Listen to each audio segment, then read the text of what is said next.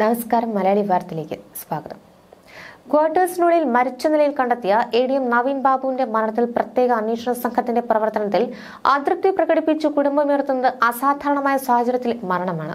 നവീൻ ബാബുവിന്റെ മരണം റിപ്പോർട്ട് ചെയ്യപ്പെട്ടത് മുതൽ അന്വേഷണം എത്തി നിൽക്കുന്നതുവരെയുള്ള കാര്യങ്ങൾ ഓരോന്നായി പരാമർശിച്ചുകൊണ്ടാണ് കുടുംബം ഹൈക്കോടതിയിൽ വാദങ്ങൾ ഉയർത്തിയത്. നവീൻ ബാബുവിന്റേത് ആത്മഹത്യ എന്ന് പറയുമ്പോഴും കൊലപാതക സാധ്യത തള്ളിക്കളയാൻ സാധിക്കില്ലെന്നും എന്നാൽ എസ് ഐ ടി ഇക്കാര്യങ്ങളൊന്നും അന്വേഷിക്കുന്നില്ലെന്നും അദ്ദേഹത്തിന്റെ ഭാര്യ മഞ്ജുഷയുടെ അഭിഭാഷകൻ ഹൈക്കോടതി ചൂണ്ടിക്കാട്ടിയിട്ടുണ്ട്.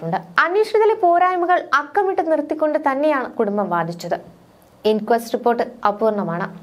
നൂറ്റി അറുപത്തഞ്ച് സെന്റിമീറ്റർ ഉയരമുള്ള വ്യക്തിക്ക് കസേരയോ മേശയോ ഉപയോഗിച്ച് മുകളിൽ തൂങ്ങാൻ കഴിയുമോ എന്ന കാര്യത്തിൽ ആവശ്യമായ വിവരങ്ങളൊന്നും ഇൻക്വസ്റ്റ് റിപ്പോർട്ടിലില്ല.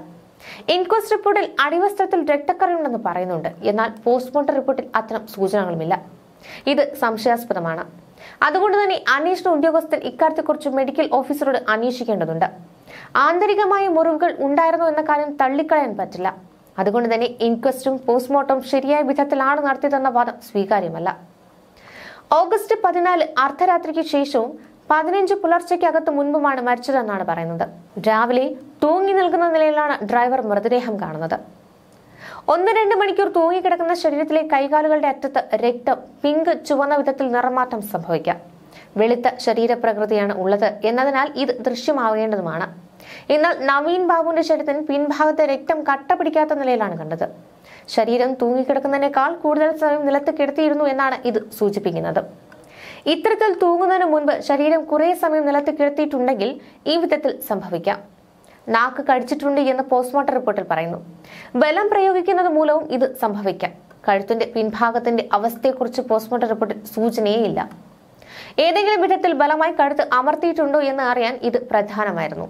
മാത്രമല്ല അൻപത്തഞ്ച് കിലോഗ്രാം ഭാരമുള്ള ശരീരം തൂങ്ങിയെന്ന് പറയുന്നത് അര സെന്റിമീറ്റർ കനമുള്ള പഴയൊരു കയറിലാണ്. ഇതടക്കമുള്ള ഒട്ടേറെ കാര്യങ്ങൾ പ്രത്യേക അന്വേഷണ സംഘം പരിശോധിച്ചിട്ടില്ല. തൂങ്ങുന്ന ഒരാളുടെ ശരീരം മരവിക്കുന്നതിന് മുൻപ് മലമൂത്ര വിസർജനവും രക്തവും ഉമിനീരും ശുക്ലവും അടക്കമുള്ള സ്രവങ്ങൾ സാധാരണ പുറത്തു വരാറുണ്ട്. എന്നാൽ പോസ്റ്റ്മോർട്ടം റിപ്പോർട്ടിൽ ഇതൊന്നുമില്ല.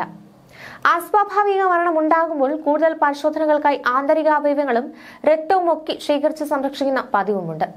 എന്നാൽ ഇവിടെ ഇതൊന്നും ഉണ്ടായിട്ടില്ല. മരണസമയം സംബന്ധിച്ചും തിരിമറി നടന്നിട്ടുണ്ടെന്ന കാര്യവും പോസ്റ്റ്മോർട്ടം റിപ്പോർട്ടിന്റെ അടിസ്ഥാനത്തിൽ വാദിഭാഗം ഉന്നയിച്ചു. A D M Naveen Babu കൈക്കൂലി ആവശ്യപ്പെട്ടു എന്ന് കാട്ടി പ്രശാന്തൻ മുഖ്യമന്ത്രിയുടെ ഓഫീസിൽ നൽകിയ പരാതി അന്വേഷണ സംഘം പരിശോധിച്ചിട്ടില്ല. കേസിലെ പ്രതിയായ പി പി ദിവ്യയെ രക്ഷപ്പെടുത്തുന്നതിന് വേണ്ടി ഈ പരാതി വ്യാജമായി ഉണ്ടാക്കിയതാണോ എന്നും പരിശോധിച്ചിട്ടില്ല. പ്രശാന്തന്റെ സാമ്പത്തിക സ്ഥിതി ദിവ്യയുടെ ഭർത്താവുമായുള്ള പ്രശാന്തിന്റെ ബന്ധം. പ്രശാന്തിന്റെ പെട്രോൾ പമ്പ് അനുമതിക്ക് വേണ്ടി ദിവ്യ അനധികൃതമായി ഇടപെട്ടത് തുടങ്ങിയ കാര്യങ്ങളൊന്നും അന്വേഷണ സംഘം വേണ്ട വിധത്തിൽ അന്വേഷിച്ചിട്ടില്ല. നവീൻ ബാബു കുറ്റസമ്മതം നടത്തിയെന്ന നിലയിലുള്ള കളക്ടറുടെ പ്രസ്താവനയെ സാധൂകരിക്കാൻ ചടങ്ങിന് ശേഷം അദ്ദേഹം കളക്ടർ കണ്ടോ എന്നറിയേണ്ടതുണ്ട്. എന്നാൽ ഇവിടെയുള്ള സി സി ടി വി ദൃശ്യങ്ങൾ പരിശോധിച്ചിട്ടില്ല. മാത്രമല്ല പ്രത്യേക അന്വേഷണ സംഘത്തിന്റെ വിശ്വാസ്യതയും പ്രശ്നമാണ്. തുടക്കത്തിൽ അന്വേഷണം നടത്തിയ കണ്ണൂർ ടൗൺ പോലീസ് സ്റ്റേഷനിലെ എസ് എച്ച് തന്നെയാണ് എസ് ഐ ടിക്കും നേതൃത്വം നൽകുന്നത്. അതുകൊണ്ട് തന്നെ എസ് ഐ ടി രൂപീകരണം ശ്രദ്ധ തിരിച്ചുവിടാനുള്ള വഴി മാത്രമാണ്.